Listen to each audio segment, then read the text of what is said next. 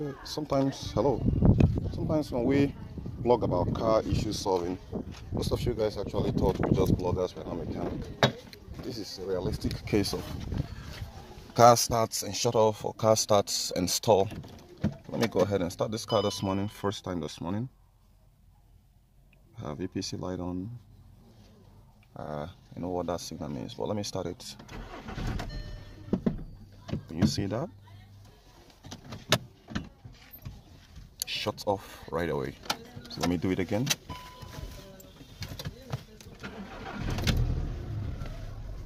Now it's back on. But that's not a good sign. If you got this problem with a VW, go ahead and replace your O2 sensor. You're gonna thank me later. By the way, in particular, upstream.